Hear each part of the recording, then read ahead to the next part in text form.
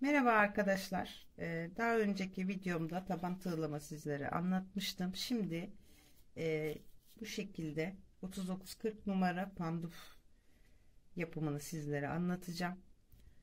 Ya ben bunu e, püskülsüz yaptım yani anne botu gibi düşünün arkadaşlar. Hemen bakın. Daha önce zaten videom detaylı bir şekilde anlattım. Ben e, tığlama kullanırken yaparken e, iki buçuk numara tığ kullanmıştım. Şu an tığımı değiştiriyorum. Yani üç buçuk numara tığıyla devam ediyorum. Burada zaten bakın bir tane zincirim vardı. Onu göstermek açısından tekrarını al. Bir, iki. Artık e, iç taraftan değil dış taraftan örmeye devam edeceğiz. Burada arkadaşlar şunu unutmayın. Her sık iğne tepesine bir tane trabzan olarak. Şimdi bazı arkadaşlar bunu karıştırıyor. İpimi tığımı doladım. Hemen şurada bakın bir boşluk var.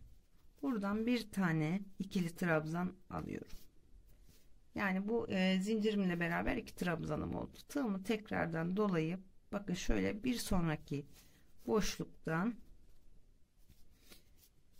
trabzanımı yaptım devam ediyorum. Şöyle yakından şöyle boşluk zaten görünüyor. Her sık iğne tepesine bir tane trabzan şeklinde denk getirmemiz gerekiyor arkadaşlar. Zaten sıra sonunda ben e, sayım yaparak daha detaylı anlatmaya çalışacağım sizlere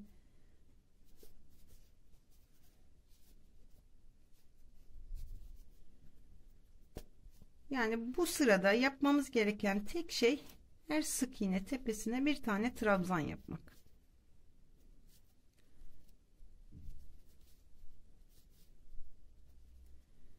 Eğer tabanımıza e, bakın çift battıysak zaten üzerine çift trabzan yapmamız gerekiyor. Tek battıysak bir tane boşluk kalıyor ve ona da tek batmamız gerekiyor. Bazı arkadaşlarımızın kafası karışabilir. Bakın hemen boşluk boşluklar zaten görünüyor. Bakın şu şekilde her birine birer tane trabzan şeklinde devam edelim.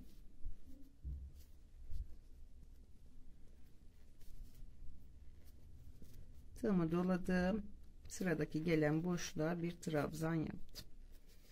Sıramıza arkadaşlar bu şekilde devam edelim. Yani bitiş noktasına kadar, başlangıç noktasına kadar her bir e, sık iğneye bir tane trabzan şeklinde devam edelim. Evet arkadaşlar e, trabzan sıramızın sonuna geldik. Yine topuk kısmında bakın burada başlangıç kısmına geldik. Burada eklememizi yapacağım yani birleştirmemizi. İlk başlamış olduğum zincirin hemen tepesinden kaydırarak bakın birleştirmemi yaptım. Bu noktaya bir iki tane zincir aldım. Arkadaşlar şunu da anlatayım. Bununla ilgili çok soru geliyor bana. Şimdi taban tığlama sayısıyla trabzan sayısı aynı olmalı. Hatta trabzan sayısı e, ben bunu saydım. Bir tane trabzan sayısı fazla. O da şurada iki zincir alıp aynı noktaya yine bir trabzan yapmamdan kaynaklanıyor ki bu da e, olması gereken bir sayı. Yani benim şu tabanımda 79 tane sık iğne batmışım ve üzerinde de trabzanı sayacak olursam 80 tane de trabzanım var. Arkadaşlar bu e, benim sadece benim kullandığım tabanın sayısı yani sizin kullandığınız taban sayısı yani delik sayısı trabzan sayısı aynı olmayabilir. Çünkü bazıları bakın şu noktalar daha sık oluyor bazıları daha seyrek olabilir. Bu önemli olan sizin kendi kullandığınız taban sayılarınız önemli. Yani benim verdiğim sayı sadece bir örnek. Onu anlatayım. Şimdi burada artık bir üst sıraya geçiyoruz.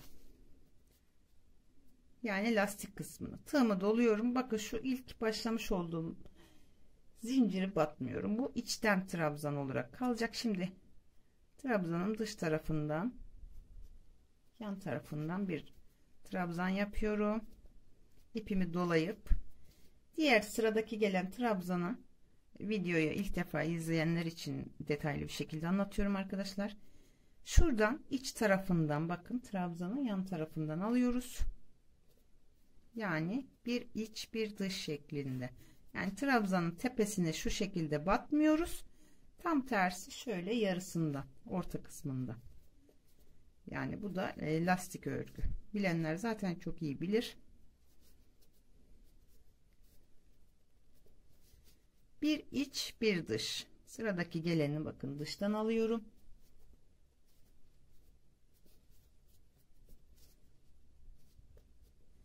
Bir sonrakini şöyle iç taraftan alacağım.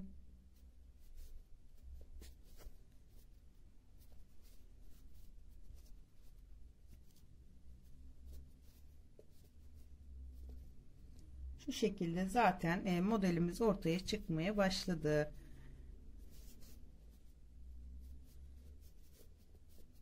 Bir iç bir dış. Evet hanımlar.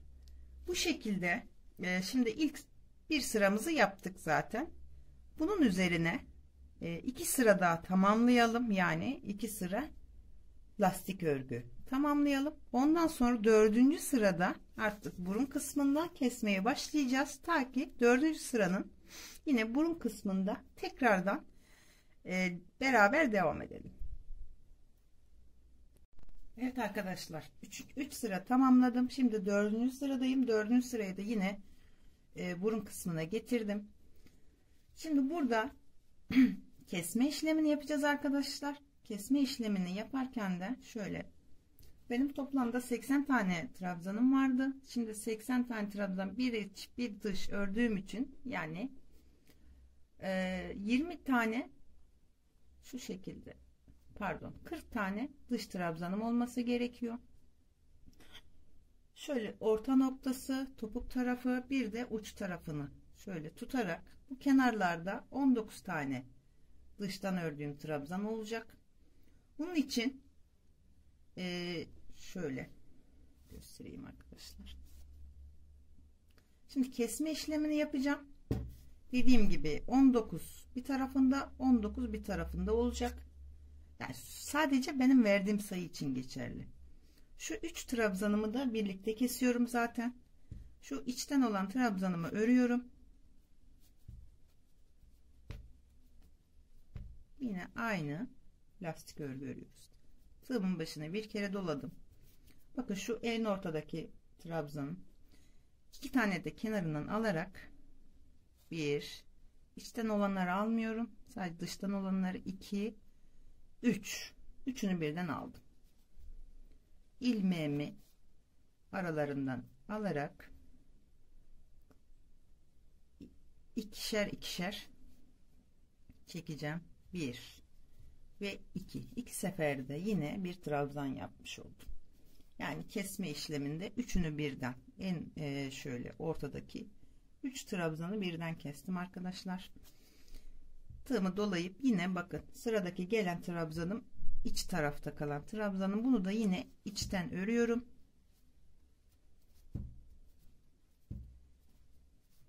Şimdi geri kalan kısmını herhangi bir kesme işlemi yapmadan devam ediyoruz. Bir iç bir dış şeklinde. Şöyle burun kısmı bu şekilde arkadaşlar bu şekilde devam ediyoruz ta ki yine e, bu uç noktaya gelene kadar sıramızı tamamlayalım Evet arkadaşlar şu an 5. E, sıramızı ortasına geldik 5. sıramızın tam ortasındayız yine burun kısmında kesme işlemini devam edeceğiz yine buradaki içte kalan kısmı da örüyoruz Yine burada ortada 3 tane trabzanım var. Tığımın başını ipimi doladım. İlk trabzanımı aldım. Sonra ortadaki ve üçüncü trabzanımı. Üçünü birlikte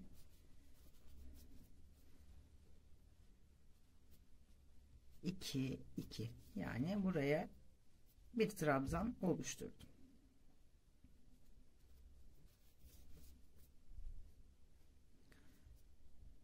Yine örmeye devam ediyoruz.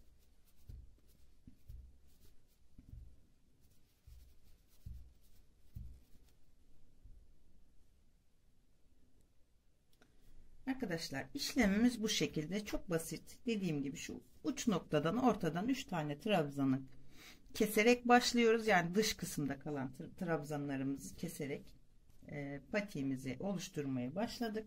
Şurada da göstereyim ben ne kadar kesmişim, nereye kadar kesmişim. sayısını vereceğim sizlere.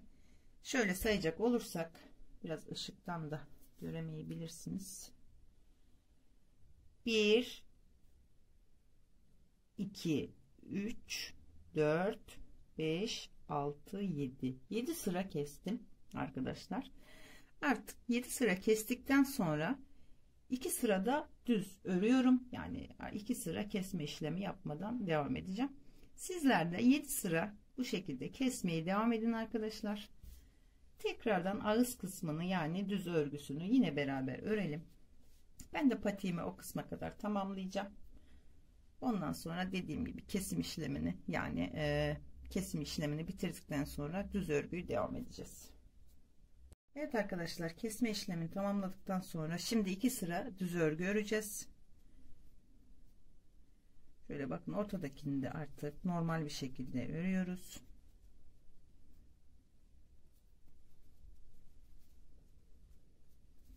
Bir iç bir dış şeklinde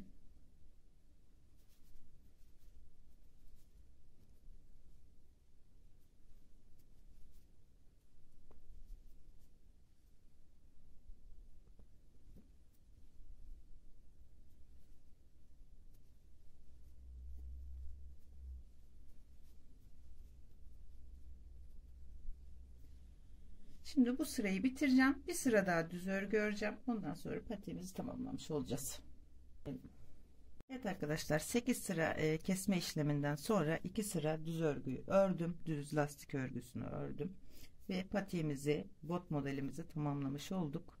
Bu şekilde 39-40 numara ayak numarasına göre uygundur. Sizler de istediğiniz numaraya göre benim verdiğim sayılardan yola çıkarak yani taban işlemesi olsun üst sayılar olsun Sizler de güzel e, kendi botunuzu, kendi patinizi kendiniz yapabilirsiniz. Arkadaşlar videomun sonuna geldik.